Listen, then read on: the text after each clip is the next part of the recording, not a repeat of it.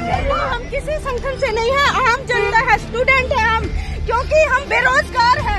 हमारे माता पिता इतना काम करते हैं, मजदूर, किसान, छोटे व्यापारी, दुकानदार, लेकिन किसी की बात नहीं सुनी जाती। ये हर जगह हमारी आवाज़ को दबाने की कोशिश करते हैं। ये तानाशाही नहीं चलेगी। तानाशाही बंद करो। ताना